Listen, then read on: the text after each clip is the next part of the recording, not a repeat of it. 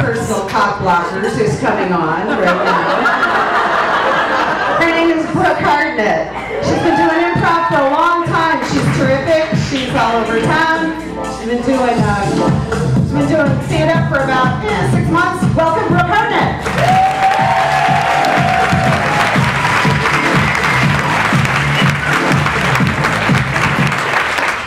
guys.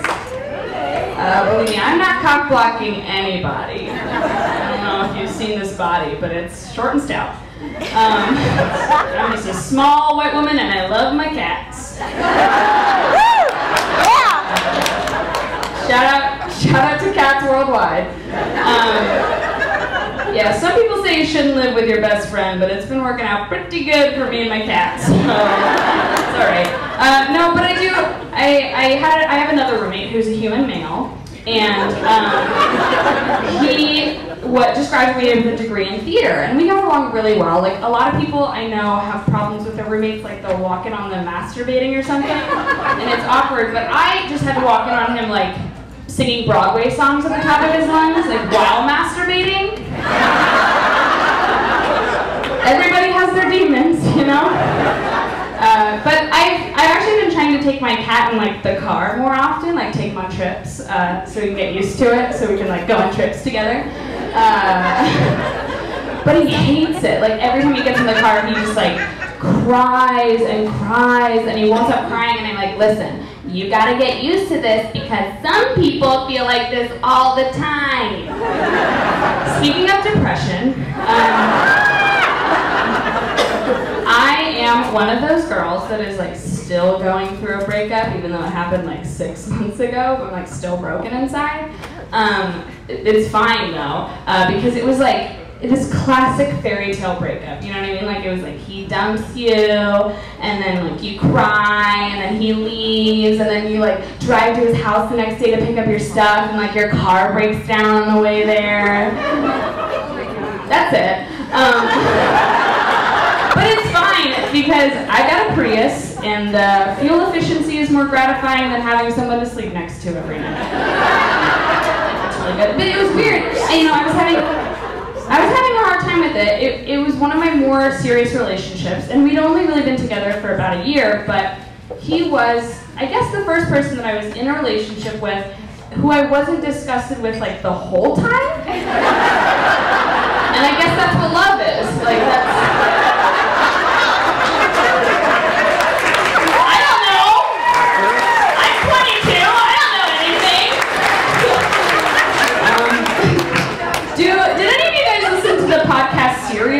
Like it was Okay, I didn't.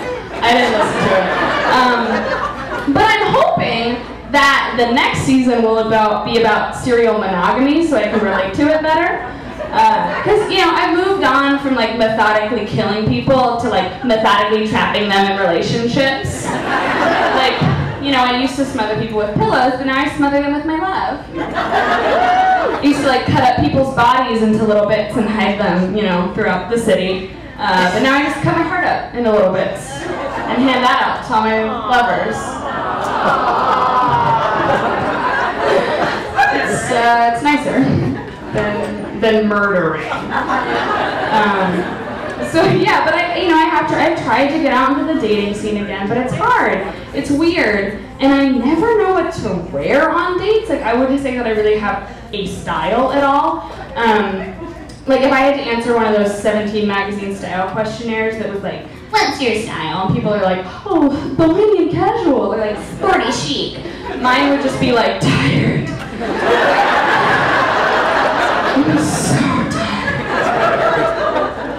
And to remedy that, I was like, instead of going out into the real world and meeting humans that speak words out loud into the air, um, I, you know, did what Amber did, and I got an online dating account. I got an account on OkCupid. And guys, let me tell you, it was going horribly. It was going so bad. Uh, but I, you know, it was a learning experience. Like I learned about myself that if a man shows me like any shred of kindness or like pleasantry at all. Like it's just disgusting. Like it's the worst thing to me. It's horrible. Like someone will just message me like, "Hey, how's your day?" And I'm like, "Oh, gross! Delete, douchebag! Like horrible person." You're the worst. like this, he just wanted to know like how my day was, and I was like, you suck. Um, or on the flip side, guys will just send me like really sexually explicit messages that are completely unwarranted because my profile picture is like me in a banana suit. Like that's not sexy. What are you doing? Uh, it, it's gotten to the point where like the other night I awoke at 4 a.m. and I thought I heard the noise of an intruder in my home. Like I was like, tonight's gonna die. And I didn't know what to do. Like I started like rustling. It was like probably my cat. And um, I was like, I'm gonna pass the time by checking my phone. And so I like went on OkCupid and was like scrolling through messages to pass the time like until my death.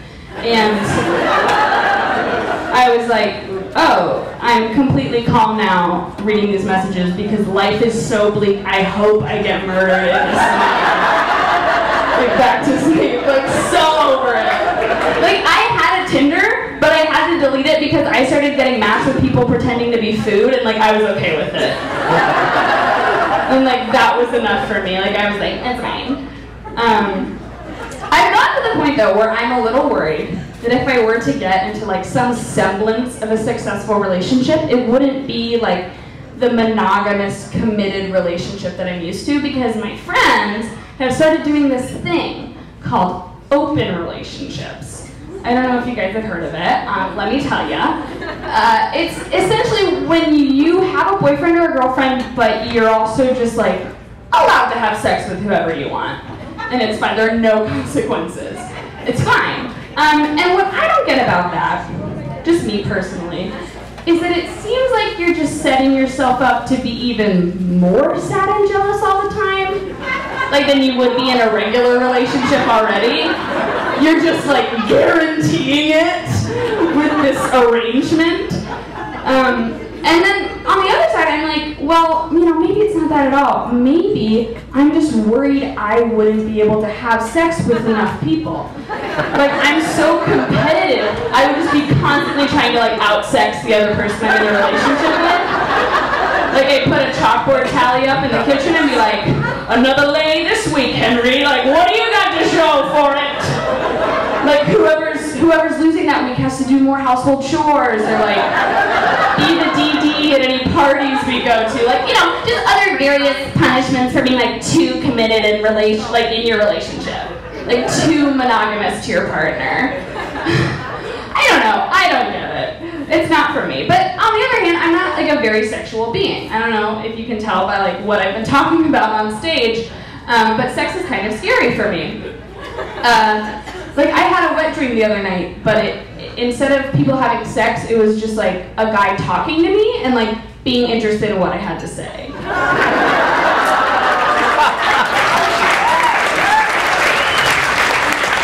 that was it. That did it. I was like, mm.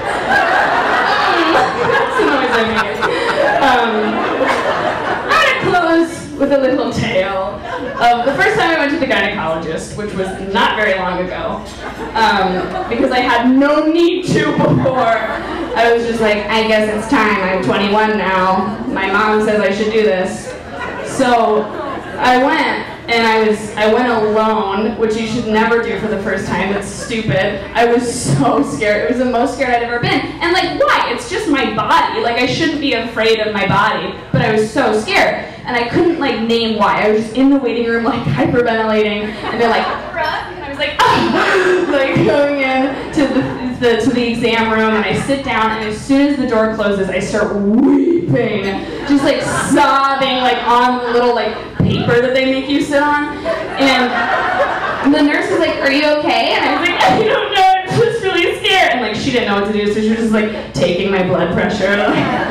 Like, okay, uh, like it's 120 over 80, and I was like, "Is that good?" And she was like, "It's like normal for a woman your age," and I was like, "Thank you." And then like she left, like got out of there, um, and I like got myself back together.